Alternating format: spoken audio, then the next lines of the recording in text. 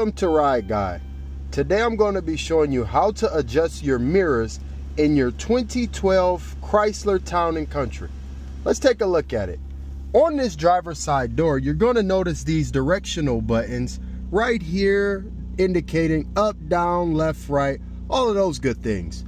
First, you're going to want to indicate what side you want to manipulate. We're going to start with the left side or your driver's side. Go ahead, press that. It's going to light up then you begin to move it up, down, left, right. Same thing applies to that passenger side.